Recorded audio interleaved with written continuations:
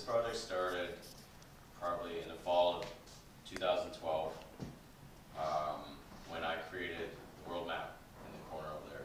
That's the oldest one of this piece, and I didn't know what I was doing at the time, but I was starting this body of work. And the thing that inspired me to make that first piece was looking at maps of the Earth at night from space, and you see the lights from space. And most people think of these pictures as beautiful awe-inspiring and stuff like that. And I look at those pictures and I see evidence of how far humans have spread in the earth. There is almost no place in the world not touched by our light. Um, so I endeavored to make that map, focusing on the 25 most populated places in the world and just to see what the world would look like if I just isolated those 25 places. And if you compare it to a map of lights from space, you'll, you can barely see some of those places.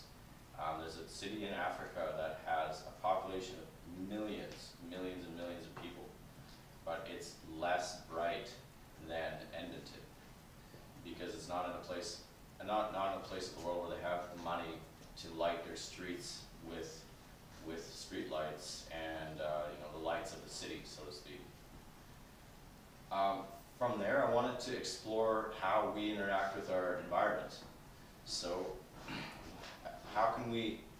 I started asking myself questions like, how can we combat climate change and this kind of stuff? And the narrative politically is very centered on emissions and CO2 emissions and carbon taxes and I'm not totally sure that that's the right way to go. It's very focused on political power and, and, and stuff like this, and people argue over what the facts are, and that's not very productive, and I think we need to start looking for other solutions that aren't going to be centered around political debate, and it leads to, it leads to works like this one, where I imagine just, you know, can we, do we have to build, we have to cut down the forests when we build a, when we build a building?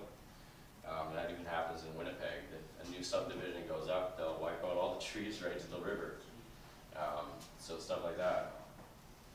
And I explored our connectivity to the earth with this series of flowers through um, like a connectivity theme.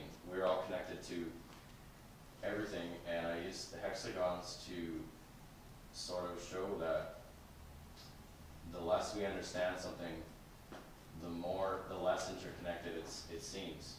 So we can see a flower as a whole and we understand it as a flower. But when we start to take the flower apart, our understanding of it as an individual thing sort of disintegrates.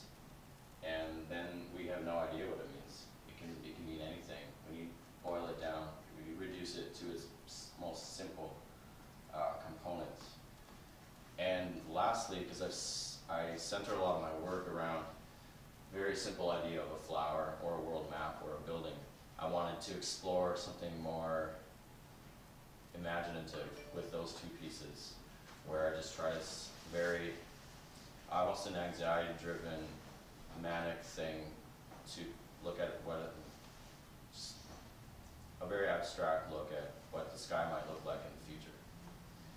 And lastly, there's a piece that's missing and I wasn't able to finish it but it's this sketch in the middle of these three here. Um, I wasn't able to finish this piece, but I wanted to sketch it and, and show it anyway, but uh, I titled it Epitaph for a reason. It would, it would have been the epitaph of the show. And it just shows a mega city in the future with nothing around it, that we've consumed all the resources around us and there's nothing left except for our little oasis of concrete under the baking sun.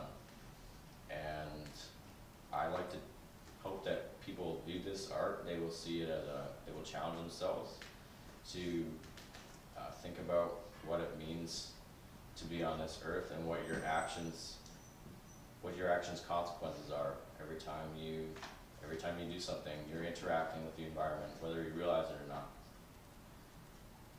That's it.